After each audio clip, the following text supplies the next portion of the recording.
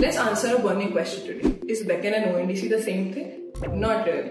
But I get it. It can get a little confusing. So let's think of it this way. Beckn is a common language that platforms can speak to transact with each other seamlessly. While an open network is a collection of all these platforms that understand Beckn.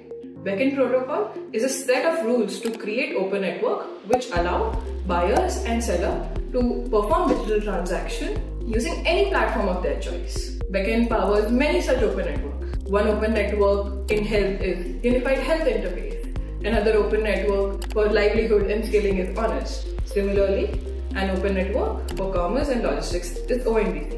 The possibilities with Beckn are endless. But remember, while both Beckn and ONDC are crucial for creating an open and equitable digital economy, they are not the same thing. So if you have any more questions around Beckn and ONDC, feel free to drop them in the comments below. And if you're excited to build with Beckn, do join our open and vibrant community.